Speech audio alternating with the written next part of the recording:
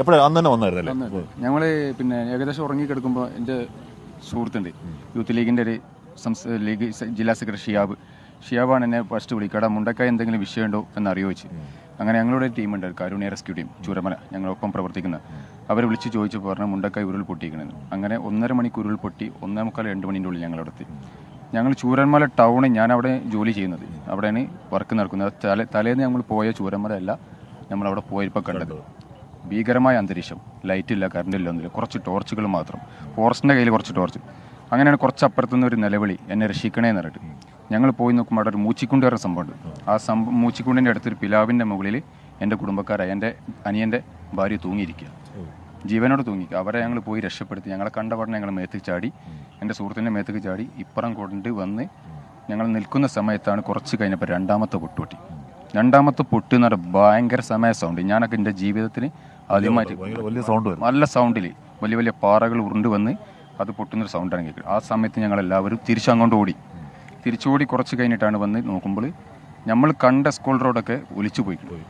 കാരണം ഒരു കാരണവശാലും സ്കൂളിന്റെ ആ പരിസരത്തേക്ക് ഈ പൊട്ടുന്നത് എത്താൻ ചാൻസ് ഇല്ലായിരുന്നു. അങ്ങനെയാണ് സ്കൂളിലേക്ക് കുറച്ച് ആൾക്കാരെ രക്ഷപ്പെടുത്തിയതും.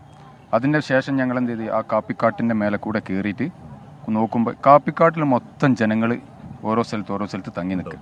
അങ്ങനെ എല്ലാവരും ഞങ്ങൾ ഇപ്പുറം കടക്കാൻ ശ്രമിച്ചതിന് ശേഷം നമ്മൾ നമ്മളെ സുഹൃത്തുണ്ട് മനസ്സൂർ. നേരത്തെ ഇവിടെ സംസാരിച്ചില്ലേ?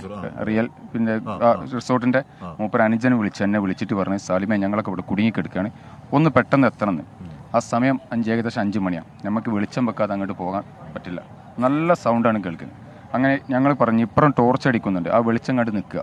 വെളിച്ചം വെച്ചാൽ ഞങ്ങൾക്ക് കഴിയുന്നത് രൂപത്തിൽ നിങ്ങളെ ഞങ്ങൾ സഹായിക്കും. നമ്മുടെ ആ കാരുണ്യ റെസ്ക്യൂമിൽ ബാവക്ക പറയുന്നുണ്ട്. എന്ന് പറഞ്ഞാൽ ആൾ ആൾക്കാർ ഇങ്ങനെ വെള്ളത്തിൽ ഒഴുകി പോകുമ്പോൾ ടോർച്ച് കയ്യിലുള്ള ടോർച്ച് പൊക്കി പിടിച്ച് രക്ഷിക്കണമെന്ന് കാണിക്കുന്നു. നിസ്സഹായാവസ്ഥ വലിയ വലിയ നിസ്സഹായാവസ്ഥ ഒരുപാട് ജീപ്പുകൾ ഒരുപാട് വണ്ടികൾ ഒഴുകി പോകുന്നത് നമ്മൾ നിന്ന് നോക്കി നിൽക്കാതെ നമുക്കൊന്നും ചെയ്യാൻ പറ്റില്ലല്ലോ. അത്രയും ചളിയാണ് ഇതാന്ന് കാരണം പുത്തുമല ദുരന്തത്തിലും നമ്മൾ ഒരുപാട് അനുഭവങ്ങൾ അനുഭവിച്ചത്. ഈ ബോഡികൾ റിക്കവർ ചെയ്യാൻ. മാസങ്ങളോളം കഴിഞ്ഞിട്ടും ബോഡി റിക്കവർ ചെയ്ത ആൾക്കാരെ ഞങ്ങൾ ഇന്നലെ നമ്മളെ സെൻട്രൽ യൂസാൽ ഇന്ന് മിലിറ്ററി ഇറങ്ങിയില്ലേ?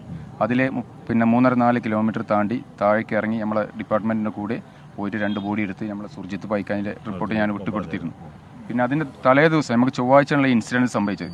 തിങ്കളാഴ്ച സുർജിത്ത് പൈ എന്നെ വിളിച്ചിട്ട് പറഞ്ഞു സാലിമ ഞാൻ ചൂരന്മല ഉണ്ട്? ഒന്ന് വരുമോ ഞാൻ ബൈത്തിരിയായിരുന്നു ബൈത്തിരി ഷോപ്പിലായിരുന്നപ്പോൾ ഞാൻ പറഞ്ഞു ഞാൻ അവിടെ ഒരാളെ ഏൽപ്പിച്ച് തരാമെന്ന് പറഞ്ഞ് ബാവുഖാൻ ഏൽപ്പിച്ച് കൊടുത്ത്. ബാവുഖാൻ ഏൽപ്പിച്ച് കൊടുത്ത് അവിടുത്തെ ആ പ്രശ്നങ്ങൾ സത്യത്തിൽ ചോ തിങ്കളാഴ്ച തന്നെ ഇത് പൊട്ടിയിരിക്കണം. പൊട്ടി. എല്ലാവരും ഉദ്ദേശിച്ചത് അവിടുന്ന് മണ്ണിടിഞ്ഞ് കലങ്ങി വരികയാണ്.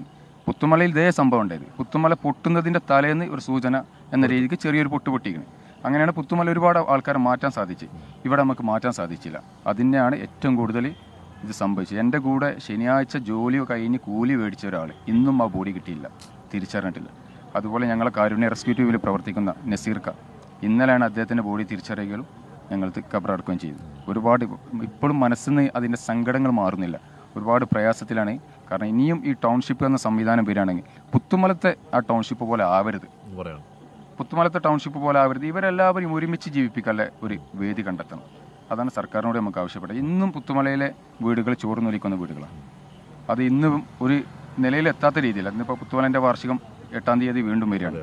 അപ്പോൾ ആ ഒരു അവസ്ഥയിലേക്ക് കൊണ്ടുപോകുന്നതാണ് നമുക്ക് ഇതിലൂടെ പറയാനുള്ളത്. ഈ പുത്തുമലയെ പറ്റി പറയുന്നതൊക്കെ വ്യാജമാണ് വ്യാജ വാർത്തയാണെന്ന് പറയരുത്. പുത്തുമലയെ പറ്റി നന്നായി അറിയാവുന്ന ആൾക്കാരാണ്. പുത്തുമലയുടെ ഏറ്റവും അടുത്തടുത്ത പ്രദേശങ്ങളിലുള്ളവരാണ്.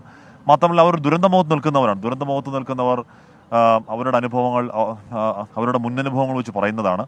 അതിനെ അതിനെക്കുറിച്ച് കുറച്ച് ക്രിയേറ്റീവായി അല്ലെങ്കിൽ അതിനെ വിമർശനാത്മകമായി തന്നെ എടുക്കണം എന്ന് വേണ്ടവരോട് അപേക്ഷിക്കുകയാണ്. അവർ പറയുകയാണ് പുത്തുമലയുടെ അനുഭവം ഈ വിഷയത്തിൽ ഉണ്ടാവരുത് എന്ന് പറയുന്നതിന് വലിയ ഭാരമുണ്ട് ആ പ്രസ്താവന